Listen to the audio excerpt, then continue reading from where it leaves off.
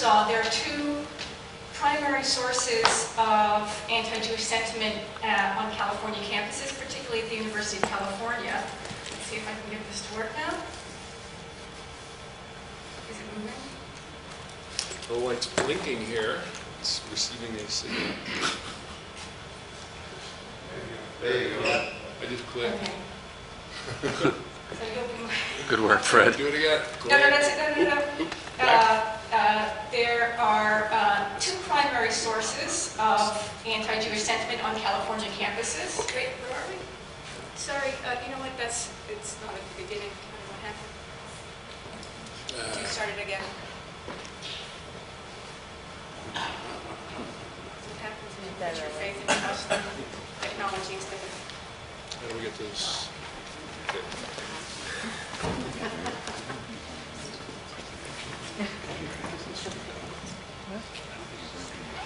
I know.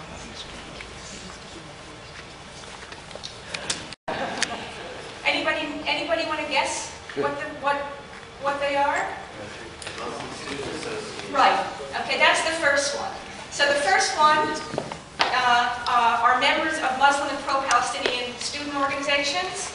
The uh, Muslim Student Association, known as the MSA, and the students were talking about the MSU, the Muslim Student Union, which is the, the what, what it's called at, at UC Irvine, um, and the Students for Justice in Palestine, otherwise known as the SJP, the Students for Justice in Palestine. They have a presence on almost all California campuses. Uh, these groups have sponsored, as you, as you could see, they've sponsored speakers, films, exhibits, and what we call guerrilla theater or agitprop. They, with, with die-in, apartheid walls and, and, uh, and checkpoints, um, and they engage in discourse or use imagery and language that's considered anti-Semitic by the U.S. State Department. Students from the MSA and SJP groups have also been responsible for aggressively confronting Jewish students at pro-Israel events and for disrupting pro-Israel speakers. You may remember back in 2010, it was on the national news about the Muslim students that interrupted uh, Israeli Ambassador Michael Oren at UC Irvine. Uh, these students have also been responsible for incidents in which Jewish students have been threatened, physically harassed and assaulted, as well as incidents in which Jewish community property has been vandalized and destroyed. And finally, MSA and SJP students on some campuses have been responsible for promoting boycott, divestment, and sanctions campaigns. Have you heard of those? Yes. Okay. Uh, there are all kinds of boycotts, essentially, we, affectionately known as BDS, as the acronym BDS, as a means of, really of delegitimizing and harming the Jewish state, ultimately destroying the Jewish state. These campaigns have often been accompanied by talks and rallies and exhibits, which again use anti-Semitic imagery, rhetoric, and action.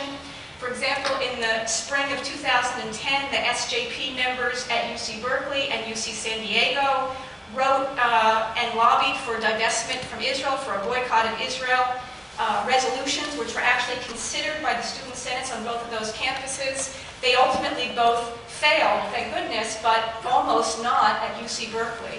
And at UC San Diego, they've had since then, every year since then, they've had, they've had, uh, they've brought this up, raised this issue in the student senates to boycott Israel. And the problem isn't so much for the Jewish students, the problem isn't so much the, the, uh, the boycott of Israel, what that really means, how much money that really means is probably negligible, but what happens on the campus at the times when these when these uh, issues are being, when these resolutions are being considered is, is really horrific for Jewish students. So the second significant source of anti-Jewish bigotry? Exactly. Did that come up? Right, exactly. Um, anti, uh, anti-Zionist faculty. So in classrooms, on class websites, on email lists, and at departmentally sponsored events, on a number of UC campuses, faculty members have advanced falsehoods and distortions about Zionism, Israel, and Jews, as well as statements advocating for the elimination of the Jewish state, and some even encouraging their students to engage in that campaign, in those campaigns. Although their rhetoric is unscholarly, right, it's not supported by any facts or evidence, it is politically motivated and directed, and it's even at times anti-Semitic. What do these professors claim? What protects them? Academic freedom. Academic, ac- academic freedom. Academic freedom, these are academics, they are protected by academic freedom, or so they claim. In many cases, the faculty responsible for these anti-Zionist and anti-Semitic expressions openly identify themselves as Jews uh, or Israelis. If they, were, if they identified themselves as Muslims, it wouldn't be a problem, at least not nearly as much of a problem as what happens when they identify themselves as Jews or even worse, as Israeli Jews, and they use their religious or national identification to legitimate their behavior or to protect themselves from critique. How could I be an anti-Semite? I'm a Jew. Uh, you may have heard that before. So in the film, you saw, uh, you, you heard about a conference that happened at my university. It was called Alternative Histories Within and Beyond Zionism, and it took place on my campus in 2007. It was sponsored by eight university departments. I mean, legitimate, respect, you know, uh, departments such as history, sociology, anthropology, departments where many of your children, your grandchildren, you may have even graduated from such a department in the social sciences and the humanities. Eight departments sponsored this. Four professors and one graduate student, none of them scholars of Israel or Zionism, though all of them, they were, their departments were rhetoric, comparative literature, um, how close did we get? Film, one of them was a film professor, writing. So none of them really had expertise in the area of Israel, either political science or something connected to Israel or Zionism. But all of them were self, all five of them were self-proclaimed Jewish anti-Zionists who had previously engaged in political activism against Israel. They all delivered papers that demonized the Jewish state, as you saw, that demonized its founding ideology, Zionism, and that encouraged political activism including the boycott of Israel, the final talk was about how to wage a successful divestment campaign.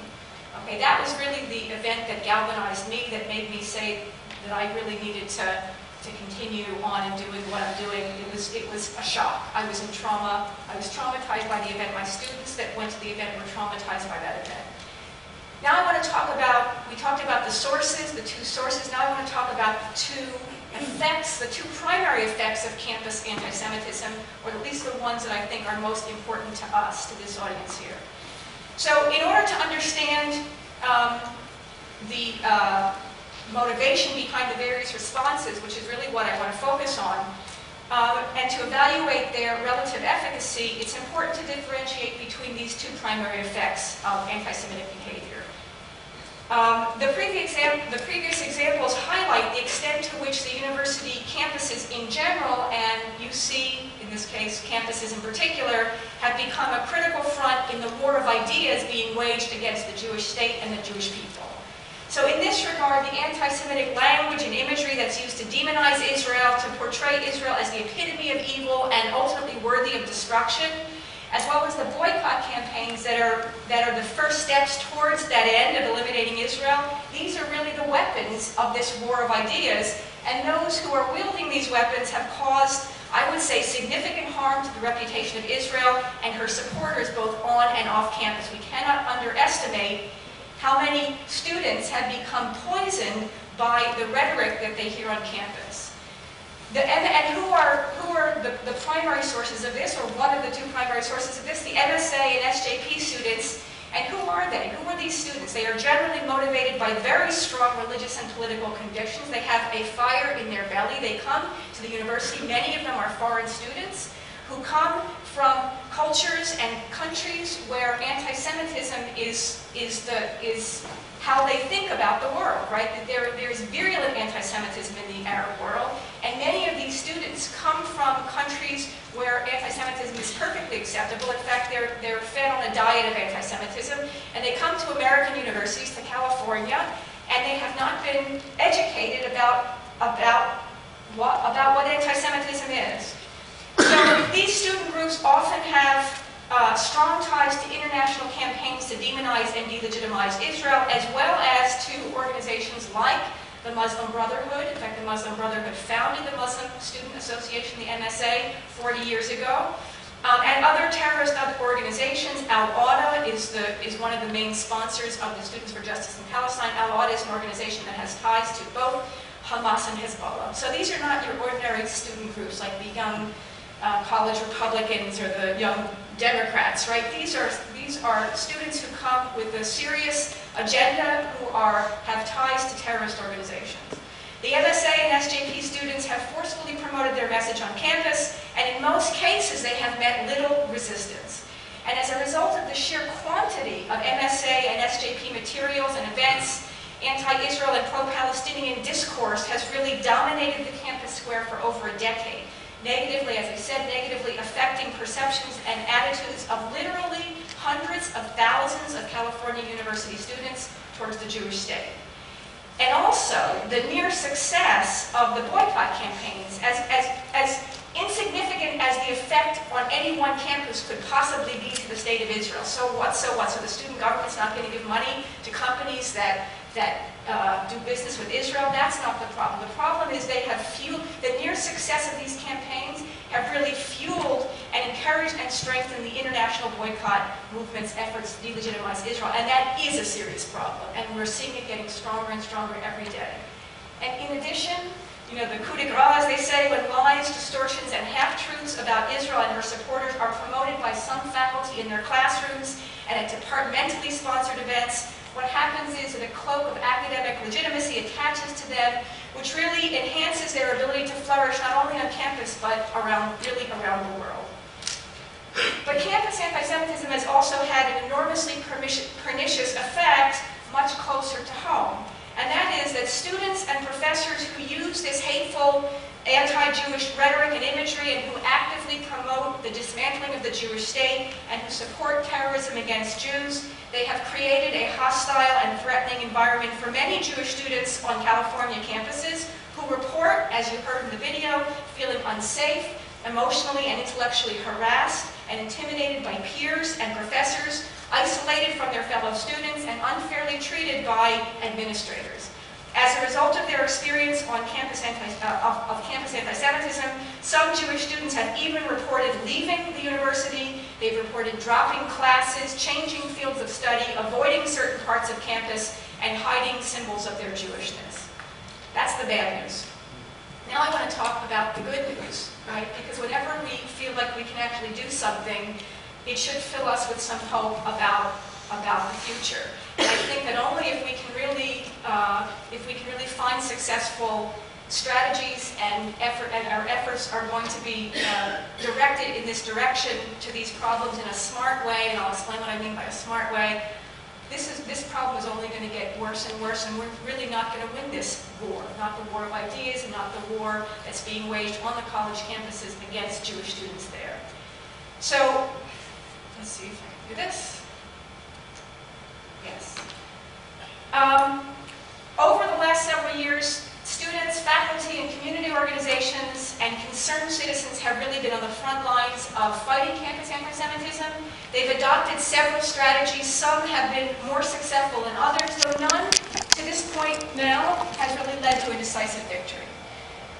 I've divided these strategies into two kinds. Two is a, is a good number um, and you'll see it a lot tonight. Um, those that have attempted to counter the efforts to demonize and, and delegitimize Israel, and those that have attempted to protect Jewish students from uh, the hostile environment created by Muslim and pro-Palestinian students and anti-Israel faculty. So the two, the two problems, the two effects, right, Going after those two effects are the two general kinds of strategies that we have. So I'm going to start with the first one about countering the de demonization and delegitimization of Israel. So once again, there have been two sets of efforts to counter the uh, demonization and delegitimization of Israel on California campuses. The first set has been directed against the anti-Israel activity of Muslim and pro-Palestinian student groups. Pro-Israel students have really been at the forefront of those efforts often with material and moral support from Jewish organizations and members of the local Jewish community.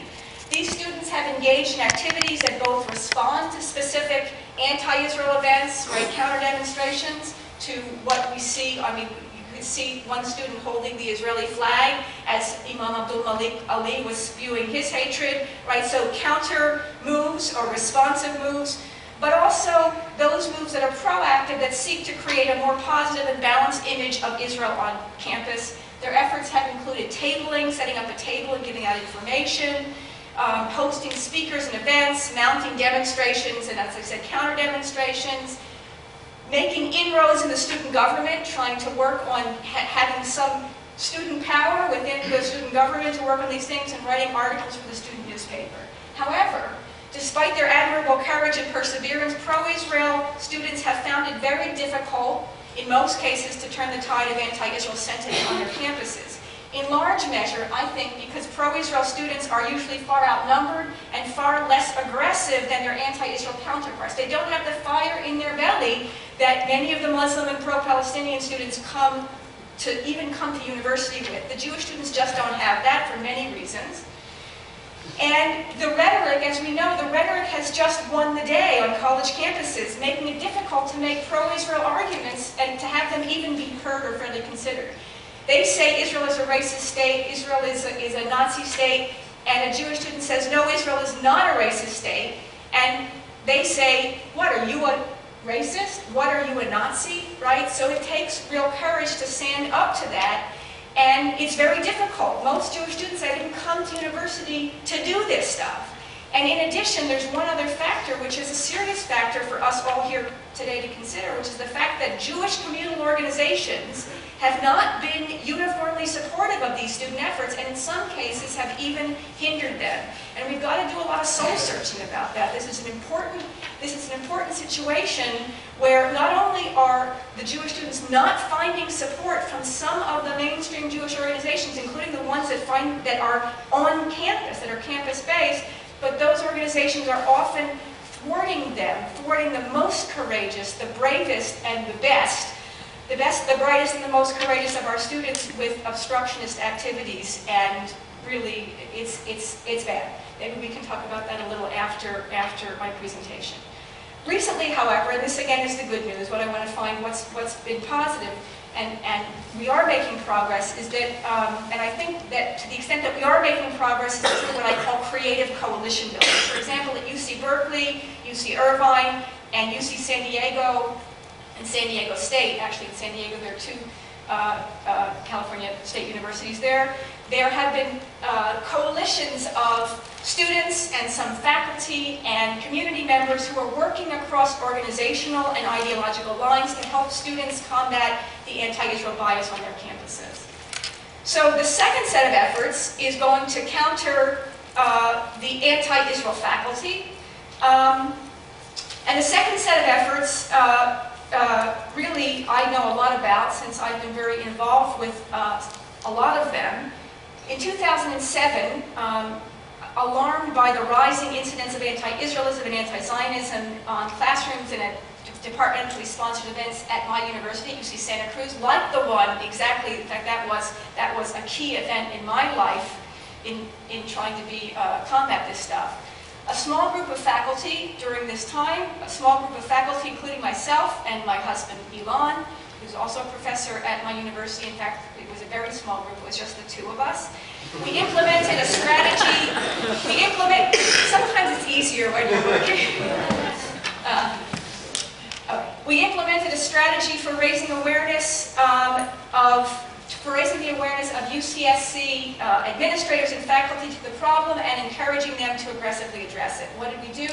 Our group presented the chancellor, the head of the university, a divisional dean, and leaders of the UC Santa Cruz Academic Senate, meaning the faculty leaders, a governing body of the faculty. We presented them with a large report of examples of faculty-generated anti-Zionist rhetoric, including that conference that you saw about, and we argued that these were unscholarly, that these were politically motivated and directed, and therefore constituted not legitimate uses of academic freedom, but abuses, abuses of academic freedom.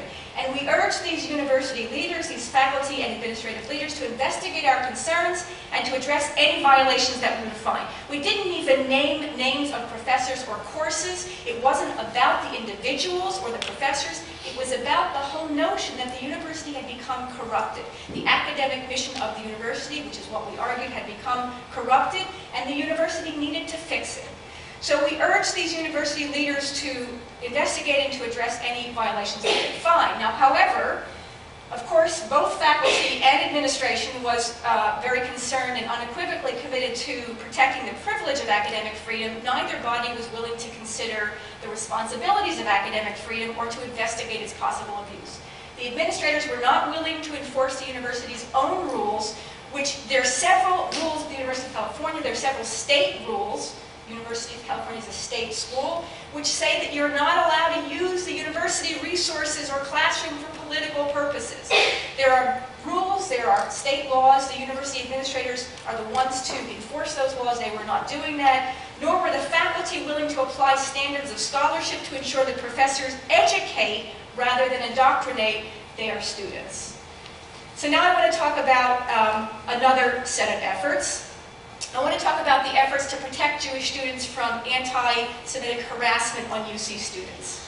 So there have been, once again, two uh, general approaches. The first seeks to ensure protection for Jewish students under federal law. Um, and I need to give you a little background about that, a little, a little bit of education about federal law and how it applies to Jewish students, so there's a little chronology here. I need you to know that until quite recently, anti-Semitism, and this is, it was surprising when I found this out, but you may know about this, but maybe not, until quite recently, until within 10 years ago, anti-Semitism was not recognized as a violation of U.S. anti-discrimination law, and Jewish students lacked the same legal protections as black students, as Latino students, and even as Arab students. Why? Because of the wording of the federal statute called Title VI of the 1964 Civil Rights Act. Title VI, which is overseen by the Department of Education's Office of Civil Rights, Title VI requ requires that any federally funded institution, including universities that receive federal funding, which is to say every university in America basically receives federal funding, that they have to ensure that they are free from discrimination based on three categories, race, color, or national origin. And if they are found to discriminate in one of those areas, then they risk losing their federal funding.